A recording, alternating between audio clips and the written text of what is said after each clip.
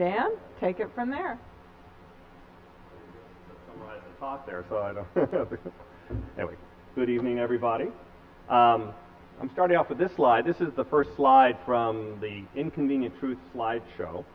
I, I was part of the, I am part of the Climate Project, which is Al Gore's group that trained a thousand people, actually now it's a little bit more than that, to go around the country and around the world giving the Inconvenient Truth talk.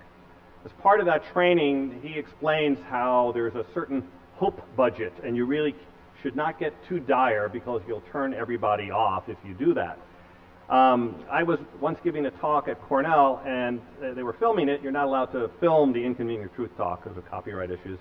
So I decided to give a different talk where I didn't follow those rules. And it, it, it got a pretty good reaction. I think that people like to be told the truth, even if it's not uh, very pretty. So um, instead of an inconvenient truth, oh, I jumped ahead there. Instead of an inconvenient truth, we're going to talk about a really inconvenient truth. We're going to go beyond an inconvenient truth. By the way, show of hands, how many people have seen the movie An Inconvenient Truth? Or almost everybody, but not everyone. So the, the really inconvenient truth is that the recent information we've all been given about climate change, the main source of that being the UN Intergovernmental Panel on Climate Change, or IPCC. That information that came out in 2007, it's a report that says things are going to be really bad if we don't do something about climate change. So the really inconvenient truth is that that report is essentially a best case analysis. And the reason for that is that there's a lot of reasons. The information that's in that report had to be submitted years earlier before updated information was available. There's governments that are overseeing what the scientists can put in the report, and China doesn't want to see certain things there. And so there's sort of this consensus building thing. So everything in the report is pretty much assured going to happen. But there's a lot of things that are going to happen that aren't in the report. And so we're going to go beyond that. And instead of considering the, the best case possibility, we're going to take a look at what the more expected case is going to be. And one way to look at, um, look at this is to take a sort of a probability curve, where on uh, the higher it is, the more likely something is. And on the left side are better outcomes from climate change, and on the right side are the worst cases of climate change. So you put the IPCC, it's sort of on the left side. It's uh, Sounds pretty bad when you read the report, but that's pretty much the best we can hope for. What's more likely is, is something that I'll call biblical, because it really would fit the description of, of what's in the Bible. And on the right side, with a, with a, unfortunately not a very tiny probability, with a reasonable probability, it could be game over. And game over means we're not here anymore. And we're going to see why that could happen. Well, one reason that the IPCC report is, is conservative, I call it, or sort of a best case scenario, is that it used linear models. Linear models are easier to formulate, they're easier to agree upon, which is very important in a consensus building thing. And so, and that's how it is. But the real world doesn't tend to work that way. The real world is discontinuous. And let's take a look at a very practical uh, version of that. We all know what H2O is. It's water. Well, it's actually it's water when it's warmer than 32 degrees Fahrenheit. But when it's less than 32 degrees Fahrenheit, it's ice. And it doesn't like slowly transition from one to the other. It's either that or it's this. And this is actually a rather uh, uh, uh apt example too, because this is pretty important in terms of uh, the ice in the Arctic and the Antarctic, because we're warming it up right now and it's crossing over 32 degrees. So in fact, let's take a look at a chart from the IPCC where it's predicting what, uh, how soon this summer ice in the Arctic is going to melt. So this is uh, from the starting point. 100% means there would be no ice left in the Arctic. And they predicted that basically around 2080, about 2100, all the ice would melt. But in reality, uh, the ice is melting very quickly. It's about half gone now, it's going to be all gone in the next five or ten years. And if you don't believe that, you could take a look at actual satellite images taken year to year in the summer of the Arctic ice, starting in about 1979, 1980.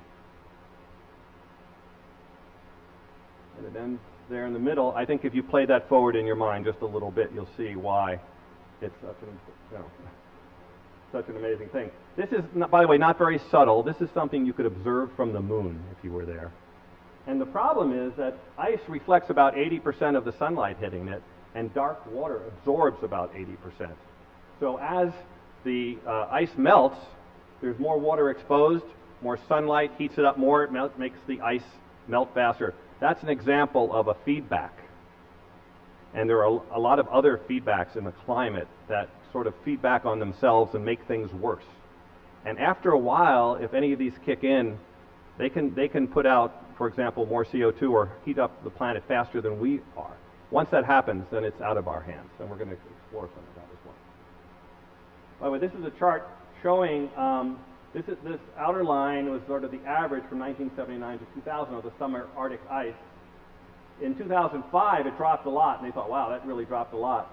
In 2006 was about the same. And then 2007, in one year, it lost as much ice equal to three times the size of California. That's, that's a lot of ice. And this year, the last two years are tracking about at 2007. Slightly more than 2007, but they're not. But there's other problems too. The ice that remains is thinner ice than before. It's younger ice, and so that's why this is already. But most scientists think this is already a done deal that this is going to be all gone. And the other problem with it all being now this is ice floating in the water, so it doesn't raise sea level. It's like if you melt ice in a glass, and when the ice melts, the water level doesn't change. Ice on land, like in Greenland, if that melts, it flows into the ocean, that would raise sea level. We're going to talk about that as well. But even though it doesn't raise sea level, it will make it, the Earth a lot warmer because it'll be dark water instead of this mirror reflecting the sun away in the, in the summertime. And the other thing it will do is speed the melt of permafrost, and we're going to get back to that. So uh, this used to be the scariest graph I ever saw. I'm going to show you a scarier one later. But this is actually uh, a graph from An Inconvenient Truth that shows uh, CO2 uh, concentrations in the atmosphere over the last 650,000 years, and it compares it to the temperature over the last 650,000 years. And you'll notice they track pretty well. And the reason, uh, and it just shows that CO2 uh, is a really good reflector of heat. It's only 0.04% uh, of the atmosphere. It sounds like it's almost nothing. But it's actually really good at trapping heat, so it acts like a blanket. And that's really good because without that, the world would be a frozen ice ball and we wouldn't be here. But it's sort of just right the way it was, and we're sort of doubling that blanket, and that's going to make it warmer. So that, so what you're seeing here is this is um, where it was, and then in the last ice age, it, it was this is temperature, so it was uh, about five degrees uh, cooler, and the, and the CO2 concentration was 100 parts per million less. Now you might ask, why does it go up and down every 100,000 years or so? Well, over a period of about 100,000 years, the Earth's orbit changes very slightly. It, it, it, changes its shape a little bit, and the Earth tilts a little bit differently. The Earth wobbles around its axis every 20,000 years, and the orbit changes over a certain number of years. And then once in a while, it lines up just right, so the Earth is tilted a little bit more away from the Sun while it's a little bit farther away from the Sun. And that makes the temperature drop just a little bit because it's farther from the Sun. That starts a bunch of feedbacks that reduces CO2 in the atmosphere, which makes it cooler, which reduces CO2 in the atmosphere, which makes it cooler, and you end up with an ice age. You end up with two miles of ice above New York City when it was 100 parts per million less than it is today. So where are we now? Well, now we're 100 parts per million above where we were in the pre-industrial times.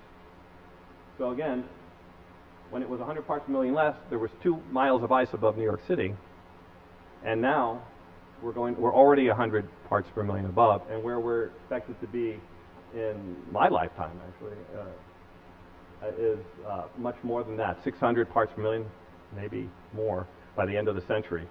It's actually this is IPCC at level data, and it's actually worse than this so far. I mean, the, the emissions path we're on today it's hard to imagine what this means, but there's another graph that actually folds this information into another form that we'll be able to see. But this is a model from the IPCC. Again, this is the old, the old data showing uh, the Earth's temperature since about 1880. And you'll notice whenever there's a volcano, it cools the Earth off, earth off by uh, putting smoke in the atmosphere and reflecting the sun away and it drops a little bit. But over time, it's still going up, and that's because of global warming. And then starting in 2000, it's obviously not historical data anymore, it's predictions for the future. And there's different lines based on different emission scenarios. It turns out that so far, the actual emissions so far are worse than the worst case assumed by the IPCC. So I translated this into degrees Fahrenheit so you can see. So we're talking about the Arctic being 15 degrees Fahrenheit warmer than today. But um, we're going to, and you'll see these are degrees C over here. So the 5 degrees C, the actual emissions so far are worse than that line assumes. Now MIT, I think that's the next one. Let's move to the next one. So MIT put out a study this January where they took all this data and they, and they did a probability assessment of different temperatures at the end of this, over this century. They did the same, uh, they did the same study back in 2003, and they basically said there's a 50% chance we're going to hit 2 degrees C by the end of the century. But they just redid their calculations based on updated information. And you'll see that we hit, these are the red lines, we cross uh, 2 degrees C around 2050. 2 degrees C is an important number. It's the number, uh, the temperature increase that scientists say we better not go above 2 degrees C. And there's a, a really good book called Six Degrees, which explains what 1, 2, 3, 4, 5, and 6 degrees warmer than today means. I'll summarize it for you. 1 degree is really bad because it causes the Arctic to melt, it causes the Antarctic to melt, it causes hurricanes and droughts and everything we're seeing and we have, we've warmed about a degree so far from climate change. Two degrees is really bad. It's major sea level rise, wiping out of major cities around the world, war, famine, and all that kind of stuff. Three is the Bible. Don't know how to say it any other way. It's just uh, uh, beginning of the collapse of civilization, collapse of agriculture, collapse of certainly collapse of economies uh, four, five, and six degrees is sort of, hey, is anybody there? A little Mad Max kind of stuff going on. And six degrees is silence. We're basically not around. And we're going to talk about this, but let's understand this graph a little bit better. It says there is a 95, per, by the way, this graph assumes business as usual, which is what we're doing right now. That means going along, not taking major action to reverse the trends. And you're going to understand why we need to reverse the trend. 95% chance that we'll, we will be at 3.5 degrees C, 6 degrees Fahrenheit warmer than today at the end of the century, crossing 2 degrees roughly 2050 or so. That alone is, is unacceptable. 95% chance. 50% chance that we'll be at 5 degrees C. Sort of very close to game over at that point and a 5% chance that we're at 7 degrees C, which is certainly, certainly game over. And keep in mind that it doesn't stop at 2100. You know, so if we're on these paths and we only hit, uh, let's say, 3.5 degrees, we'll be at 5 degrees, uh, you know, at 2120 or something like that, or 2130. So 2100 sort of an artificial path. But one thing I have to uh, uh, emphasize, things are going to be getting bad. Well, first of all, they're getting really bad already in places like Australia and certain parts of Africa It's going to be really bad here in about 10 years in the Southwest, and it's going to be really bad most places in about 2020. And that's the, and so this is not just let's not worry about it, hey, not in my lifetime kind of a thing. Certainly, we'll see it, our kids will live it, and it's a question about whether our grandchildren will get through it. But talking about parts per million and degrees C, this, this chart, I might as well have just told you that an asteroid is headed for Earth. And that's really the impact we're talking about. But, it, but when I say uh, four, 500 parts per million, or I say five degrees C, no one reacts. No one under, it doesn't, it's not built into it. We're going to talk about the psychology of climate change a little bit later. But basically, these kind of numbers mean nothing to anyone. So what I tried to do is to change, to translate, to come up with an analogy of what this all means. So we're going to uh, take a look at what, what does two degrees mean to something that we understand in our, more of our daily life. Hopefully not your daily life, by the way. But uh, so uh, plus 2 degrees C is about like driving your car into a brick wall at 20 miles an hour. Okay? Um, you're going to be damaged. You're probably going to be hurt. You might get killed. There's a reasonable chance you might walk away. or at least go away in an ambulance, right? 4 degrees C is like hitting your car into a brick wall at 40 miles an hour. You might, you might make it through. Less chance of that. 6 degrees C is like hitting your